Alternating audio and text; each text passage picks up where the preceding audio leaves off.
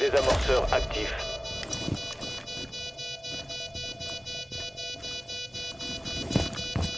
Sniper automatique en position.